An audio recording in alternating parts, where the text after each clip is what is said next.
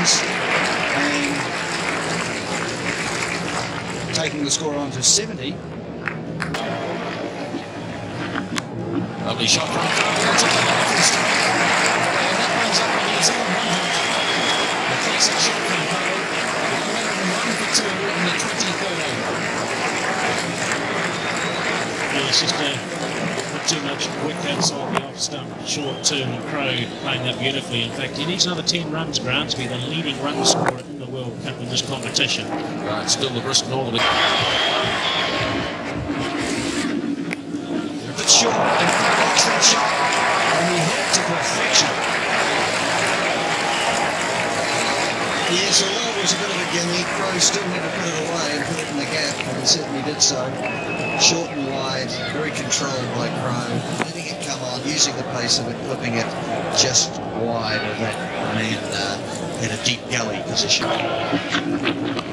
Martin Crowe, Andrew Jones, of course, Mark Greatbatch's all in wonderful touch. But there we are, there's the 100 partnership up between these two. Wonderful effort. Good. So back, back live, Martin Crowe just clipping it away behind square. Philip de Freitas does the fielding. So things pretty well under control, although Jones is out. Crowe's there on 49 now.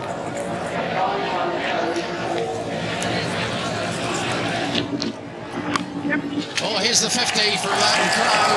He's dropping it down in front of him, racing through.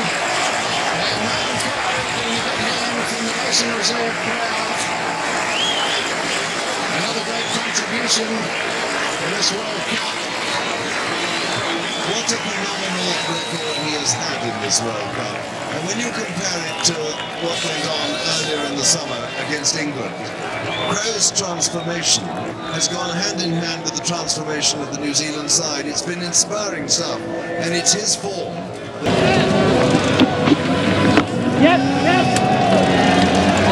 One run to Ken Rutherford. He's underway. They've outplayed the Poms just as they've outplayed every side they've come across in this competition. It's been quite remarkable. But Martin Crowe smacks that one down the ground. Interesting looking shot, but he pressed it. He banged it down just wide of the bowler on the onside. And it raced down there to long on It was a bit bottom-handed. It wasn't like those lovely pure drives you used to produce, but um, it's one of those days when everything's going for him. Nice of you. He knew exactly what he was doing. He placed it beautifully and hit it for ball.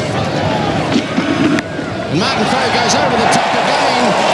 And he's hit this one pretty well. And one two bounces into the boundary down there at Long. So there we are. Baby's a little worried about the rain arriving.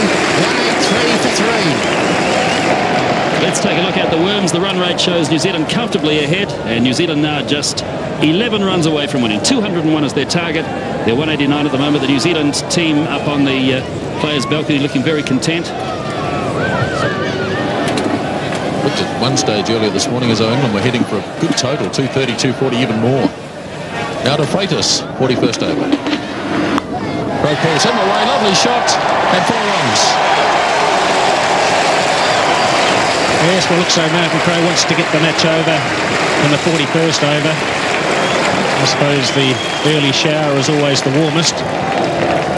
So why stay out there any longer than you have to? And already got onto that one very well. Chris Lewis having no chance of cutting that one off. Chris Lewis. Goes for it, and this could be it. Sailing out to the fence, uh, New Zealand have beaten England here at the Basin Reserve by seven wickets and remain unbeaten at the Benson Hedges World Cup.